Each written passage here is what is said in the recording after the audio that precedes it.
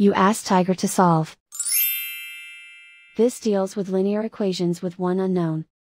The final result is y equals 11 over 7. Let's solve it step by step. Group all y terms on the left side of the equation. Subtract 4y from both sides.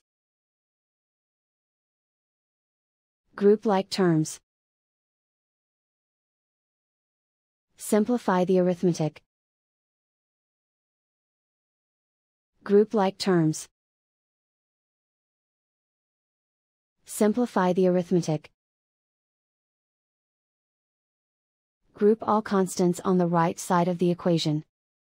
Subtract 9 from both sides.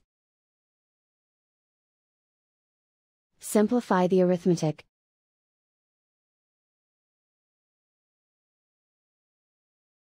Isolate the y. Divide both sides by negative 7. Cancel out the negatives. Simplify the fraction. Cancel out the negatives. And so the final result is y equals 11 over 7.